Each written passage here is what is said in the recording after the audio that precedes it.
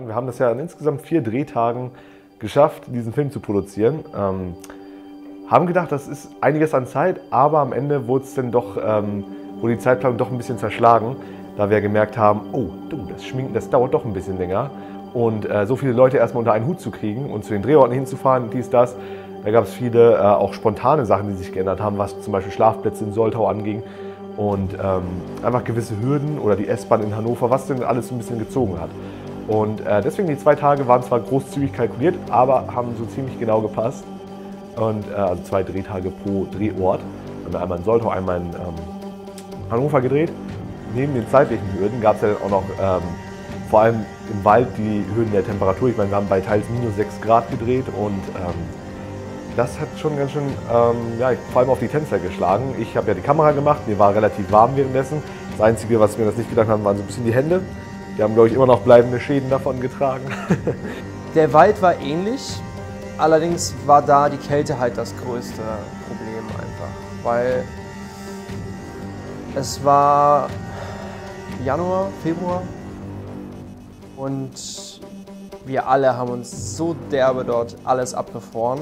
Man hat es auch gemerkt am zweiten Tag äh, vom Walddreh, da hat man auch gemerkt, uff, so langsam geht die Luft raus, weil es halt einfach scheiße kalt war und kein richtig warmes Essen dabei war. Wir hatten ein paar harte Kekse, die auch schon durch die ganze Kälte verdammt hart waren. Äh, das einzig Warme hatten wir halt wirklich ein bisschen Kaffee und Tee in den Thermoskannen. Wir hatten uns das schön gedacht mit einem Generator. Der Bums hat aber nur einen halben Tag gehalten und dann war Benzin alle und das Ding war eh viel zu laut. Und naja, wir waren dann abends lecker essen. Das war, denke ich, auch ganz gut. Aber ähm, so Catering hat dann nicht ganz so gut geklappt und das ist eigentlich was sehr, sehr Wichtiges. Strom am Drehort. Wir wollten eigentlich Essen machen. Da, ähm, das tut mir im Nachhinein immer noch so unglaublich leid, dass wir dem Team kein warmes Essen vor Ort bieten konnten. Und gerade so, dass die Moral und die, ne, dass einfach die Motivation an dem Tag bleibt. Und das konnten wir den Tag leider nicht bieten. Und deswegen nochmal auch an der Stelle wieder Respekt an das Team, dass ihr das so weiter durchgezogen habt. Insgesamt hatten wir vier Drehtage, aufgeteilt in jeweils zwei Tage für zwei Etappen an zwei sekundären Orten. Und jeder dieser Orte hatte auch verschiedene Kulissen. Ähm, zum einen war es halt so, dass gerade zu den Drehtagen in den Waldszenen bei der Treibjagd und halt dem Prolog, den wir halt dort gedreht haben, das Wetter natürlich dementsprechend sehr kalt war. Wir sprechen hier auch von minus 6 Grad. Das hat sich auch über den ganzen Tag gehalten. Und ähm, das war auch schon eine unglaubliche Hürde. Also wir haben viele vom Team gesehen, die halt wirklich auch gezittert haben, auch beim Aufbau der Location und auch überhaupt erstmal für den Standort, um halt dort, von dort aus alles zu koordinieren und die Tags halt richtig zu drehen. Da hat uns da die Kälte auch schon sehr herzlich begrüßt. Ich erinnere mich auch noch an sehr vielen, an sehr viele Gesichter, die ich geblickt habe, wo einfach man den Frost schon sehen konnte. Viel Gezitter, aber von niemandem, von keinem einzigen habe ich ein Jammern oder halt ein Ich kann nicht mehr vernommen. Alle haben wirklich mutig und tapfer gebissen. Das war auch eine unglaubliche Leistung. Wir haben viele unserer Lagerdarsteller und Schauspieler auch wirklich ans Äußerste getrieben, gerade für die äh, Takes. Und ähm, hat, ich hatte, es ging halt so weit, dass ich auch schon ein paar sehr, ähm, sehr harte Gewissensbisse hatte, wie weit wir denn wirklich gehen können, weil wir bewegen uns wirklich am Rande unserer Leistung.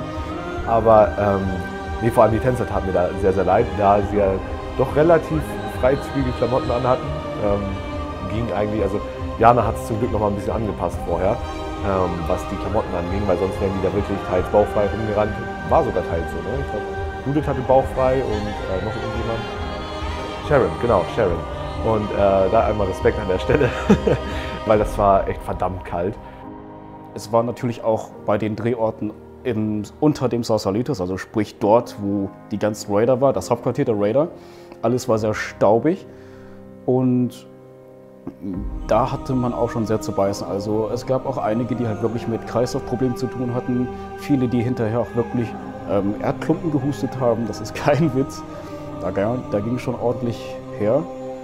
Und trotz dessen hat wirklich auch dort sich halt niemand beklagt. Alle haben ihre Arbeit gemacht und ich habe irgendwann natürlich auch halt ein paar Leute gefragt, die mir sehr aufgefallen sind, brauchst du eine Pause? Ähm, soll, wie geht es ja? Können wir dir irgendwie helfen? Und sie haben immer gesagt, jeder von ihnen, ich pack das schon, alles gut, bringen wir das einfach über die Bühne und sie haben einfach unglaublich professionell gearbeitet dafür, dass es auch für viele halt eine Art Premiere und das erste Mal war, sich halt mit sowas auseinanderzusetzen und bei sowas noch mitzuwirken. haben alle, ohne dass wir explizit darauf eingegangen sind, halt ein eine unglaublich hohes Maß an Professionalität an den Tag gelegt. Ähm, darauf bin ich auch wirklich sehr stolz. Ja, unten war es nicht, war nicht so die Kälte das Problem, sondern eher der Staub. Äh, da war es mir wirklich extrem warm, wobei am Abend wurde es dann auch ganz schön kühl, weil es im Keller war. Das war eine sehr interessante Location, einfach aus dem Grund, weil dort unten Bedingungen geherrscht haben, die sehr, sehr heftig waren. Wir haben mit sehr viel Staub zu kämpfen gehabt, mit Kälte, mit äh, Akustik, sehr Lautstärke. Ja, der Staub, selbst obwohl wir immer wieder zwischendurch diese Mundmasken auf hatten, diese Staubmasken, oh Gott, äh, das war echt ähm, nicht so schön. Also der Hals hat gekratzt, sagen wir so. Schön, als ob wir alle geraucht haben. Naja, ist ja auch egal. Das waren auf jeden Fall so die größten Hürden, die sich so bei den ähm, Plätzen aufgestellt haben, also Zeit, Temperatur und vor allem auch der Staub. Die ersten Szenen, die Verfolgungsszenen waren, äh, waren schon anspruchsvoll, sowohl für das Kamerateam als auch für das Darstellerteam. Ähm, Adrian musste halt zusammen mit Tonmann und halt mit Klappe, Filmklappe immer direkt aneinander laufen zu, zu den Schauspielern. Und diese Tags wurden halt immer und immer wieder gedreht. Das heißt, ähm, das, wir haben nicht viele Pausen dazwischen gelassen, wir haben halt durchgängig gedreht. Das heißt immer wieder nach Position und nochmal los, nochmal nach Position und wieder los. Das war auf jeden Fall für den Adrian eine sehr sportliche Arbeit gewesen und natürlich auch für die Schauspieler. Auch bei den anderen Szenen. Äh, wir hatten dann auch wirklich diesen Fall äh, ähm, inszeniert, wie äh, dann Jessica hingefallen ist. Ich bin da bestimmt auch drei, vier Mal fast mit der Kamera hingelegt, äh, hätte ich mich fast hingelegt. Äh, das darf Daniel übrigens nicht hören, also piept das mal bitte aus. die Kamera war nur geliehen. Nein, ich habe natürlich sehr vorsichtig mit umgegangen und wir haben immer darauf geachtet, dass keine Stöcke auf dem Weg lagen. Das war auch nicht ganz ohne. Bis hin zu den Treibjagden, wo wir dann letztendlich auch rüber in, die, in dieses Gebiet gekommen sind, wo diese ganzen Baumstämme waren. Ne? Genau, wo wirklich tatsächlich äh, der Sturm durchgekommen ist. Und ähm, Hurricane. Echt Hurricane? Die Windhose. Also es gab da dieses unglaubliche Gebiet, wo halt wirklich alle Bäume zerfetzt waren, kaputt waren, alles einfach aussah, als hätte äh, ein absolut riesiger Hurricane alles zerrissen, was irgendwo auch ein bisschen so war. Und das war für uns die perfekte Treibjagdszene, wo auch die Drohnenshots wieder greifen konnten. Und man muss auch sagen, es war sehr gefährlich für die Schauspieler. Wir sind dort einfach durchgelaufen und es gab überall spitze Äste und alles und es gab keinen ebenen Weg. Und ähm, wie bereits erwähnt, äh, da hat man sich auch öfter hingelegt. Ähm, neben Stürzen, die äh, wirklich sehr, sehr lustig waren. Eins haben wir schön auf der Drohne aufgenommen, wo sich die Ayla richtig hart auf die Fresse gelegt hat. ähm, das sieht wirklich witzig aus, so nach dem Motto so. Die Ayla ist dahin gefallen, ich selbst bin dahin gefallen. Und es war sehr gefährlich, weil man musste auch irgendwo aufpassen. Also ich hatte tatsächlich ein bisschen Angst, dass wenn ich gleich stolper und ich stolper gleich da rein, dass mich gleich irgendein rausschauender Ast gleich aufspießt. Es war wirklich heftig. Es war nicht ganz ungefährlich. Wir haben versucht, zuerst diese Strecke abzugehen, um zu gucken, wo es potenzielle Routen gibt, um die Treibwerke richtig zu inszenieren. Äh, zu inszenieren.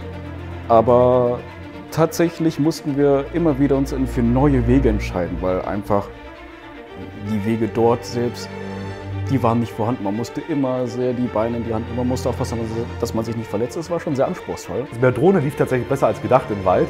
Wir sind jetzt auch nicht so die krankesten Routen da zwischen den Bäumen durchgeflogen, aber wir hatten da echt Glück, dass, ähm, dass es sehr viele Stellen gab, wo halt wenig Bäume waren. Und da konnten wir gut mit der Drohne fliegen und ich denke, das sind auch ein paar sehr, sehr schöne Szenen gekommen.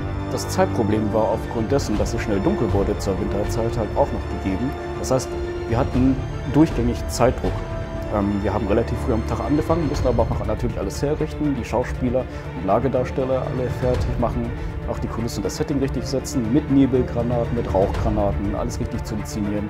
Das hat auch sehr viel Zeit in Anspruch genommen und natürlich, gerade weil es doch ein paar Takes mehr wurden, ähm, war es dann so gewesen, dass man sich tatsächlich immer und immer wieder in Zeitdruck befand. Thomas hatte ja im Nachhinein bei den Verfolgungsszenen wirklich nochmal eine schöne Arbeit, da wird er bestimmt nochmal was zu sagen, mit dem Sounddesign. Äh, er hatte mir erzählt, so allein bei jedem Baum, der so durch die Kamera geht, dass da einmal so ein Wusch-Sound kommt. Ne? Achtet mal drauf beim Film, wenn ihr den nochmal schaut. Da kommt wirklich immer ein Wusch-Sound. Ja, das war bestimmt viel Arbeit. Habt aber ein bisschen Respekt.